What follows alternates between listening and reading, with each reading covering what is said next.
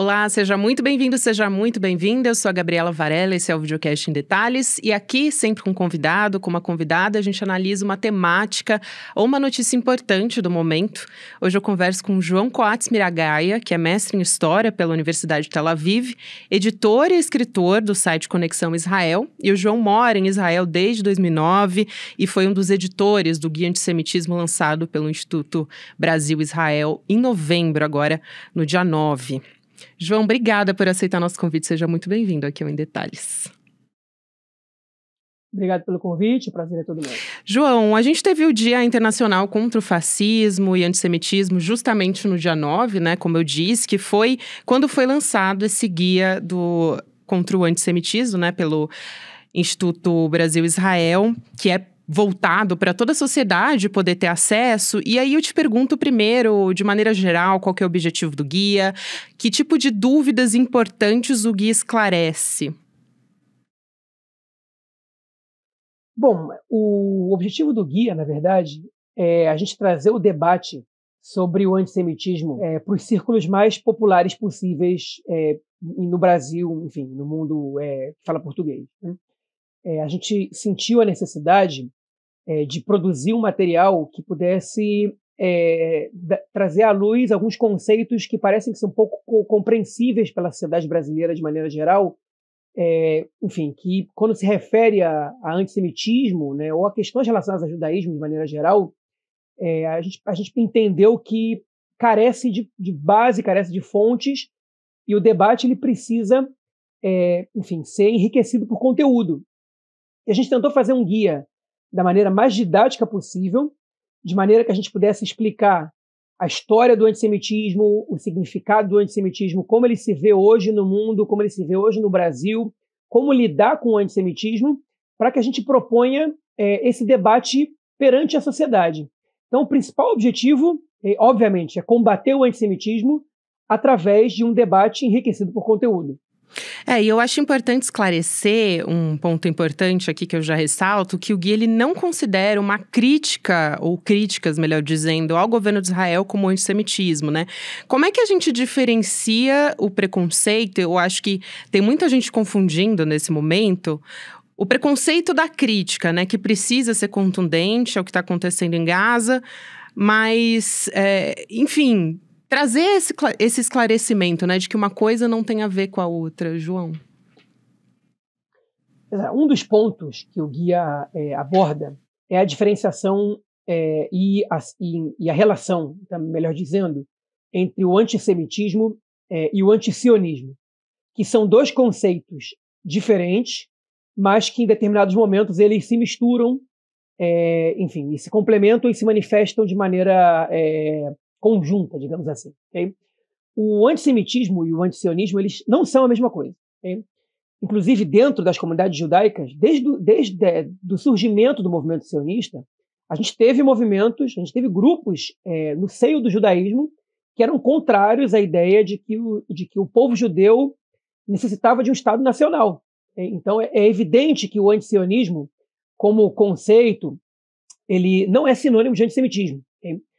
O que o guia ele tenta trazer como conceito, e a gente trabalha com, com dois conceitos é, básicos, que é o conceito da Liga Antidifamação, a ADL, e o conceito do Instituto Nexus, okay? e que nesses dois conceitos que a gente trabalha é, existe essa semelhança, é, o, que, o, que, significa, o que, que é o antissemitismo por base, o que, que tem em comum todos os atos antissemitas? É que eles atacam o judeu, ou o judaísmo, ou elemento judaico, por ser judaico. Então, quando o antisionismo, ele também é antissemita. Quando ele ataca o Estado de Israel de maneira singular, por ser o Estado de Israel e não por questões, é, com, enfim, que pudessem é, estar sendo atribuídas a qualquer outro Estado. Né? Ou seja, a negação do direito do povo judeu à autodeterminação nacional né? É, é, tem muitas possibilidades de ser, é, de, enfim, de ser considerado um caso de antissemitismo, porque essa negação, em geral, ela é, ela é feita, né? Esse, essa, esse direito é, é negado somente ao povo judeu. É óbvio que quando a gente trabalha com, com, os anarquistas, quando a gente considera os anarquistas que são contra o Estado Nacional de maneira geral, É, é óbvio que o antisionismo não vai ser uma característica marcante que vai defini-los como antissemitas. Né? É, mas se o discurso ele for, se o discurso anti-Israel, anti-sionista, ele for um discurso é, específico é, negando direito ao povo judeu, ele passa a ter componentes de antissemitismo. Às vezes, por ignorância de quem está trazendo o comentário, de por quem está se manifestando.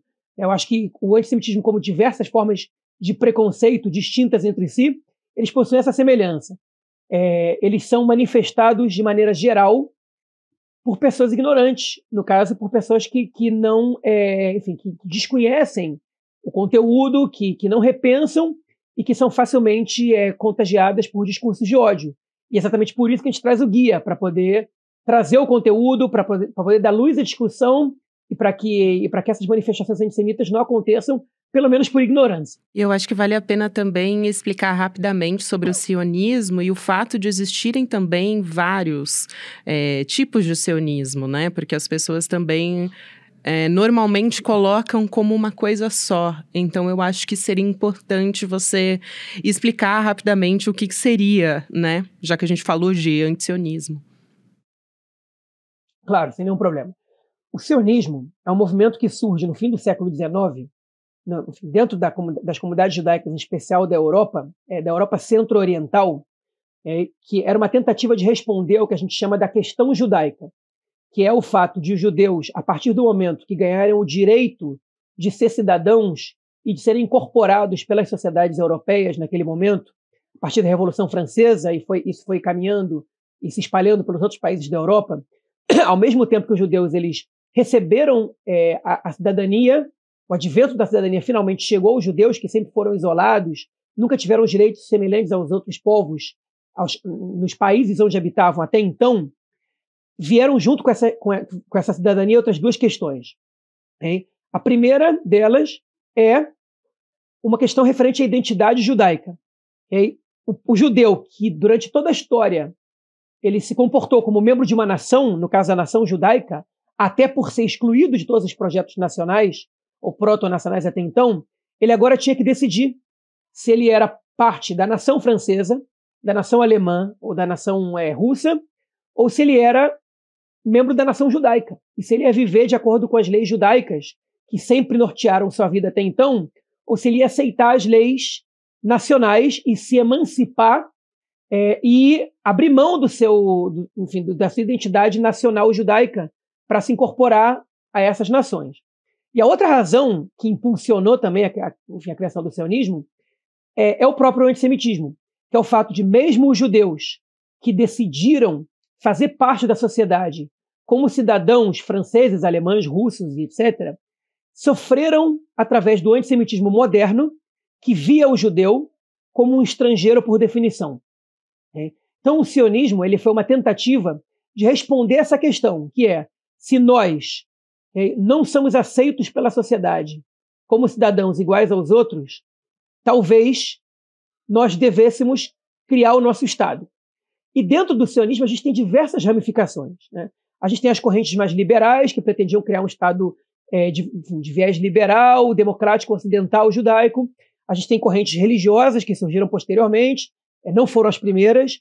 É, o, sionismo ele começou, e ele, a, a verdade é que até hoje ele é hegemonicamente um movimento secular, e não é um movimento religioso, em sua grande maioria, mas a gente tem as correntes religiosas que associaram é, a criação do Estado de Israel como princípio da redenção e da vinda do Messias.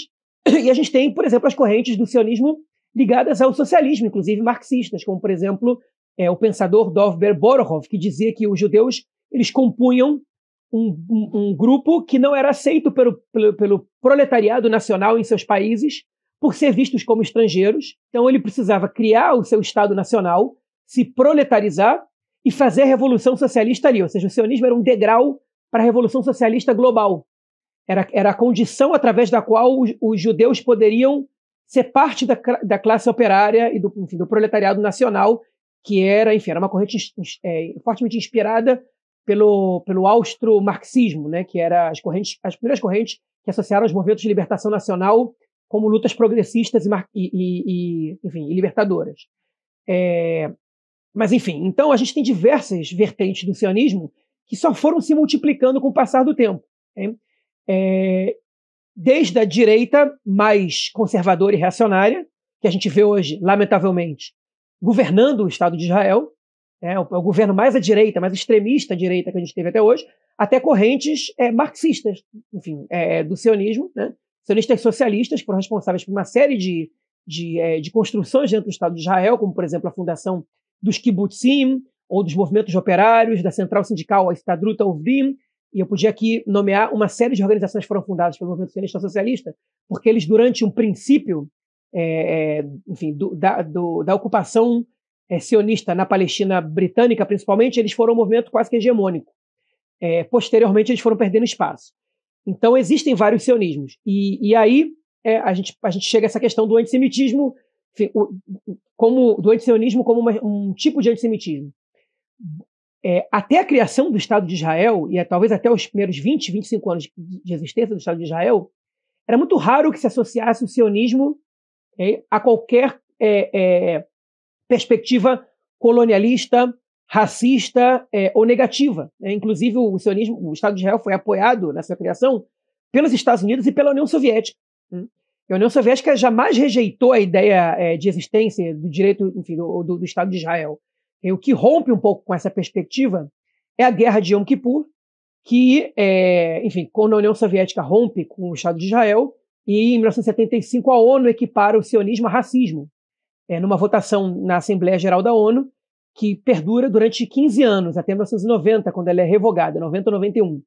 É, então, nesse momento, a gente pode, é, é enfim, fazer esse recorte de que o sionismo, ele, é, o antisionismo, ele passou a, a, a ser uma manifestação antissemita desde então.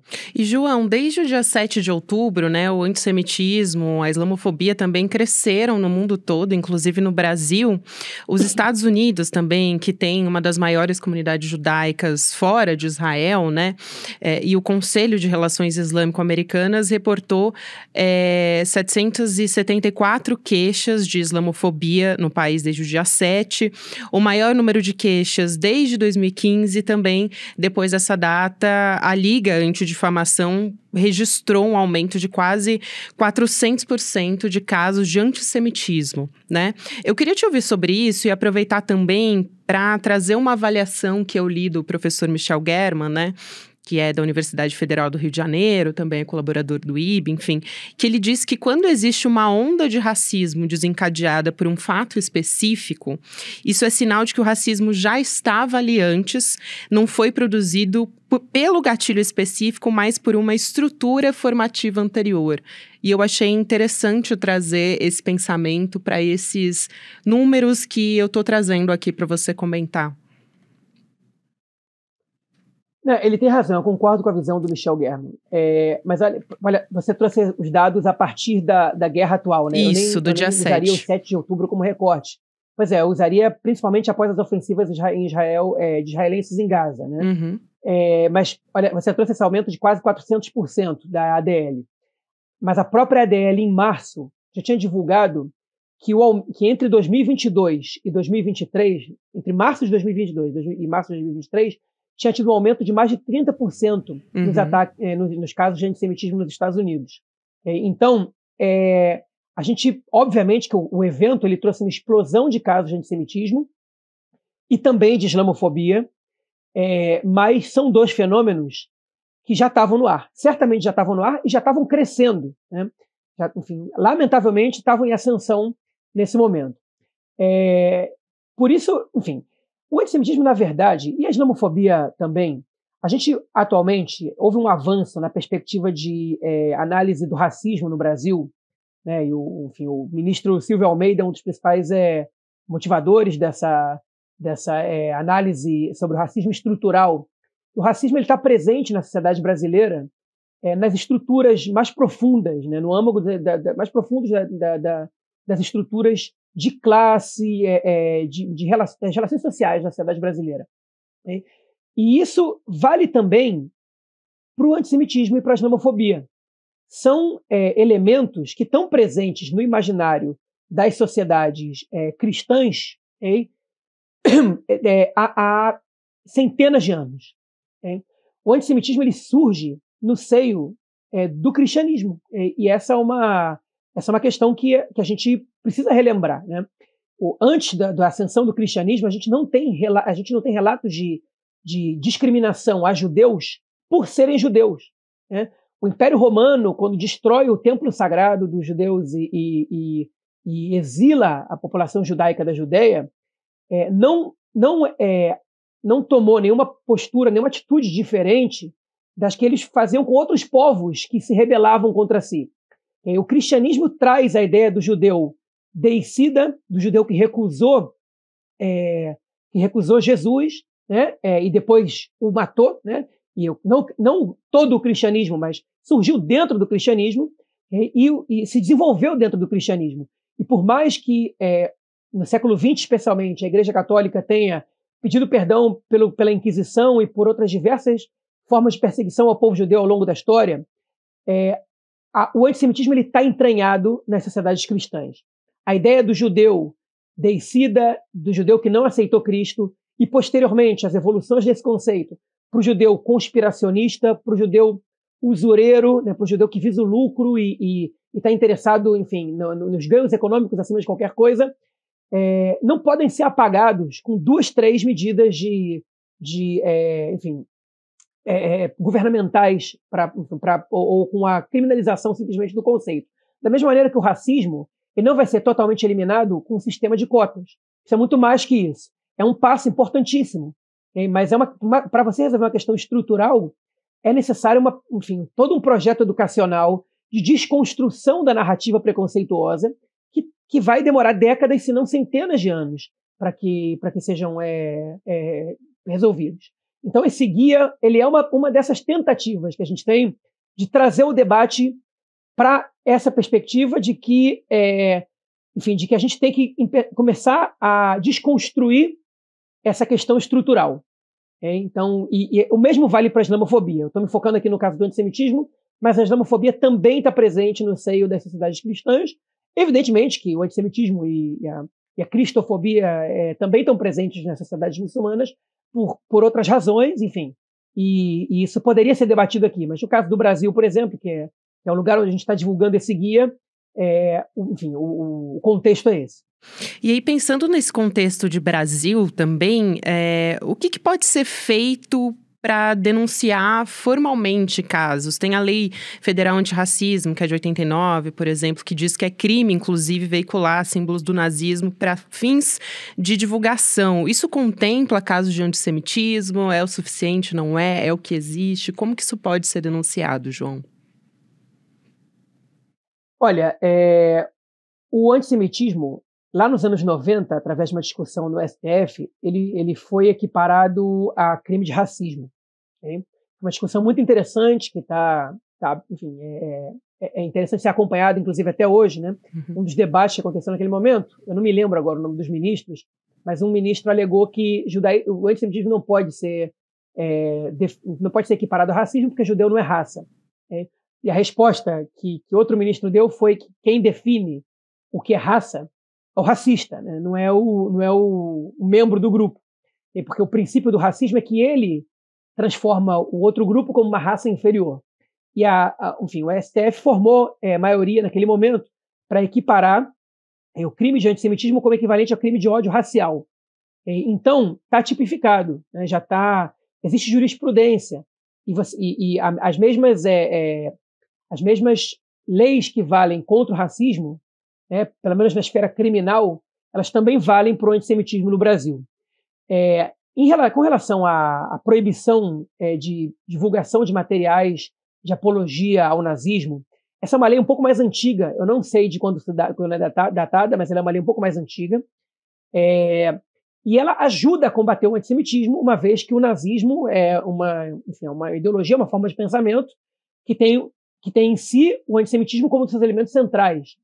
Então, é, ajuda, evidentemente, a combater, não é suficiente. É, a esfera criminal ela não é suficiente para combater um problema estrutural. Ela é super importante, mas isso não pode parar aí. Né? Caso fosse o crime de racismo, o crime de homofobia ou LGBTfobia, é, ou, é, ou a Lei Maria da Penha, seriam suficientes para gente, é, a gente coibir totalmente os crimes, é, enfim, de, de misoginia ou de agressão à mulher, violência contra a mulher, ou, ou LGBTfobia, ou, é, é, ou racismo. Lamentavelmente não é o caso. Né? A, a criminalização ela é uma ferramenta entre muitas e ela está longe de ser suficiente. João, eu quero aproveitar também você aqui como editor do Conexão Israel e fazer duas perguntas em uma, na verdade, né? Mas primeiro eu queria saber a sua visão, por exemplo, o jornal israelense, o Haaretz, faz críticas muito contundentes ao governo de Benjamin Netanyahu, né? Uh, e como você está enxergando a cobertura da imprensa hegemônica aqui no Brasil, principalmente, acho que a gente pode fazer esse recorte sobre o governo de Netanyahu em comparação à imprensa local, né, em Israel. E aí eu quero aproveitar e trazer uma pesquisa do Jerusalém Post mostrando que 86% dos israelenses culpam Benjamin Netanyahu pelo ataque especificamente do dia 7 de outubro. E também, uh, inclusive, acho que foi um material que você mesmo elaborou para o IB, mostrando pesquisas recentes da, de que a maioria da população israelense quer a saída do Netanyahu do poder e mais da metade quer isso agora, mesmo durante a guerra. E aí, popularmente falando, me parece que ele não tem realmente apoios dos cidadãos, né, israelense. Mas e politicamente? Você acha que é factível o parlamento, por exemplo, votar uma moção de desconfiança ao governo? A saída do Netanyahu seria o, único caminho para colocar fim ao conflito, porque já dura mais de 70 anos. Então, queria a, a, sua opinião sobre essas duas vertentes, né? A política hoje do Netanyahu, né, e sobre o desgaste em relação à imagem dele ou não, um fortalecimento, né? Queria ouvir sua avaliação e também sobre a cobertura da imprensa.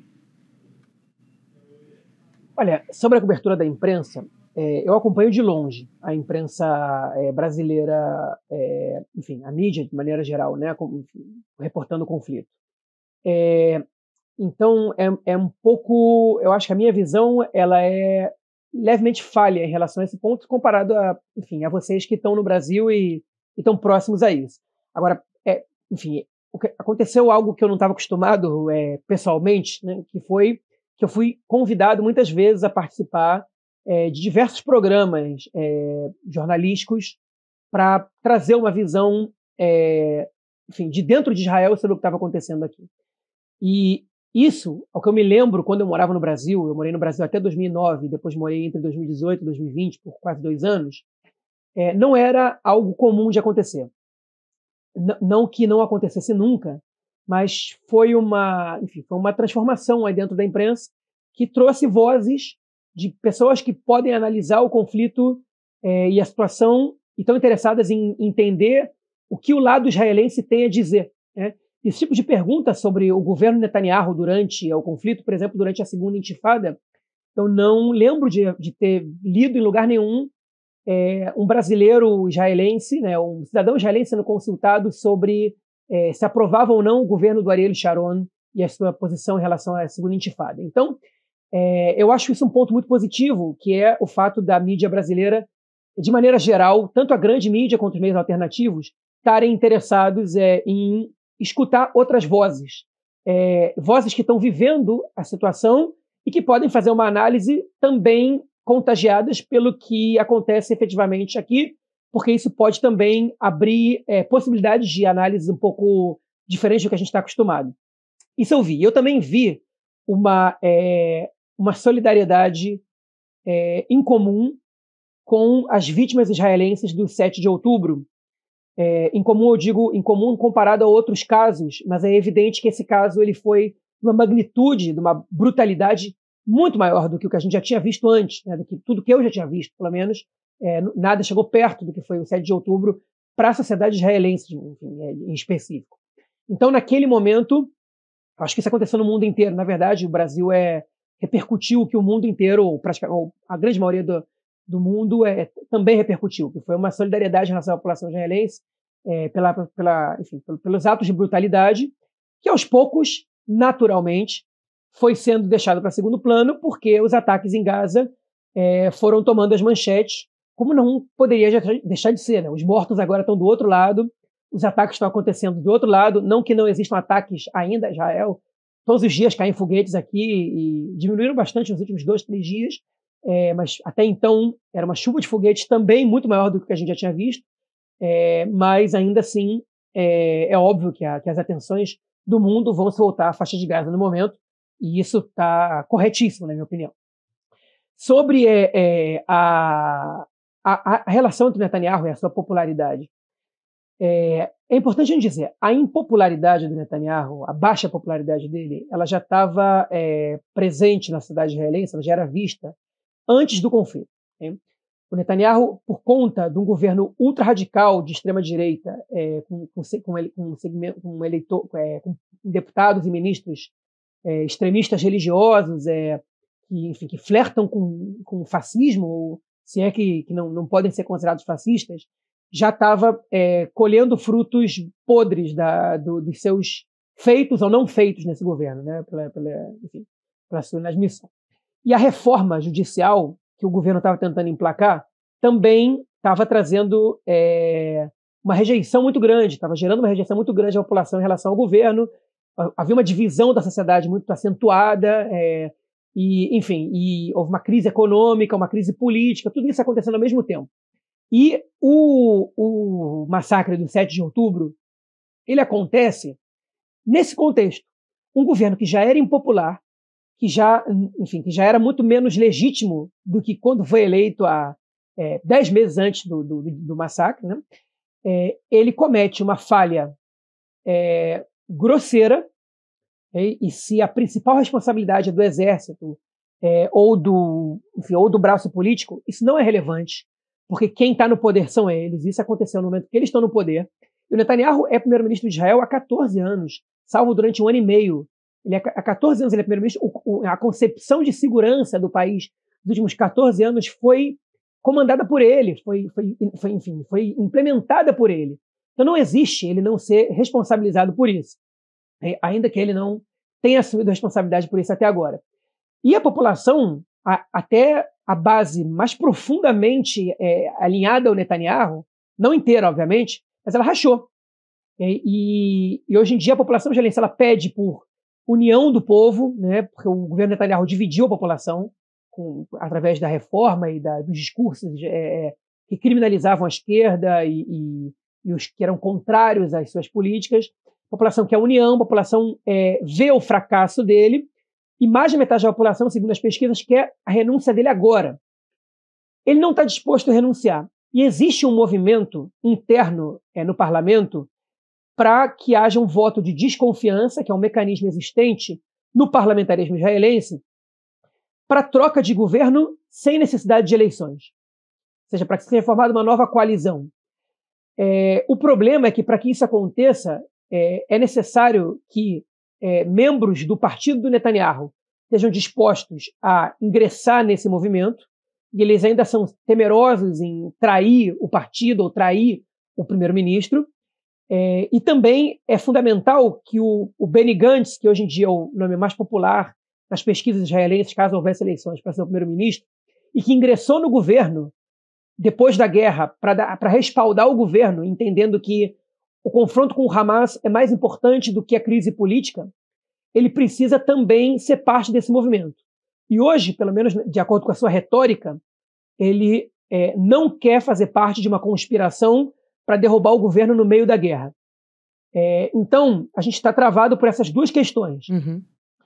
É difícil imaginar que o governo Netanyahu vai, vai durar mais muito tempo. É, é, muito provável que no momento que essa guerra acabar, a pressão seja tão intensa que o governo vai cair. Enquanto a guerra durar, é, é improvável que o Netanyahu caia, a menos que a guerra tenha uma duração muito longa. Ela ultrapasse três, quatro, cinco meses de duração, e aí é, vai ficar insustentável a situação do Netanyahu. Essa é a minha previsão, ainda que historiador não é muito bom com o futuro, a gente, a gente sabe olhar o passado futuro é a parte da história que ainda não foi escrita. João, quero muito agradecer a sua presença aqui. O João Coates Miragai é mestre em História pela Universidade de Tel Aviv, editor, escritor do site Conexão Israel e também foi um dos editores do Guia Antissemitismo do Instituto Brasil-Israel, agora em novembro. Um abraço, seja sempre muito bem-vindo aqui ao Em Detalhes, João. Obrigado pelo convite, até a próxima. Até a próxima. O Videocast em Detalhes fica por aqui. O próximo episódio vai ao ar às 10h30 da manhã, ao vivo no YouTube, por onde você acompanha toda a programação do ICL Notícias. Para quem acompanha agora pelo YouTube, você fica com o Videocast Mercado e Investimentos. E às 5 horas da tarde tem Rolê ICL, 6 horas da noite tem ICL Notícias segunda edição. O próximo episódio também você pode ouvir, e esse episódio, se você desejar, pelas plataformas de áudio, está sempre disponível a partir das 7, 8 8 horas da manhã. E também, hoje é o último dia para quem está me assistindo pelo YouTube para aproveitar a oportunidade de assistir ao primeiro filme original do ICL e garantir presentes exclusivos, acessando icl.com.br barra em detalhes. Você garante sua vaga para assistir de novo o debate de quanta terra precisa o homem, que contou com o presidente, o diretor nacional do MST, o João Pedro Stedley, também a Laura Sabino, que é youtuber e militante do MST, com moderação do Eduardo Moreira. Quem assistir ao debate até o final vai ter uma oportunidade de fazer parte do ICL e também de garantir presentes exclusivos, um boné do MST, também o livro Travessia, do Edu Moreira, o livro Experiências Históricas de Reforma Agrária no Mundo, do João Pedro Stedley, e também um balde de pipoca que é do nosso documentário de Quanto a Terra Precisa o Homem. Então acesse cl.com.br barra em detalhes e não perca essa oportunidade. Um abraço para você que me acompanhou até aqui e até amanhã. Abdul Rahman Muhammad é um dos maiores especialistas do mundo na vida e legado de Malcolm X. Ele é o protagonista daquela série Quem Matou Malcolm X, uma das séries de maior sucesso da história do Netflix. Dia 23 de novembro, uma quinta-feira, às 8 horas da noite, no horário de Brasília, você não pode perder a aula histórica que o ICL traz até você. Abdul Rahman Mohammed, o maior especialista do mundo em Malcolm X, vai dar a aula Malcolm X, o homem e a mensagem. Para você se inscrever na aula é muito simples. É só clicar no link aqui em cima ou aqui embaixo e gratuitamente e rapidamente se inscrever na aula. Se inscreve agora, não perde a aula porque é uma aula que não tem replay. E chame todo mundo que você conhece para participar. Ninguém pode perder esse evento histórico que o ICL está trazendo para vocês.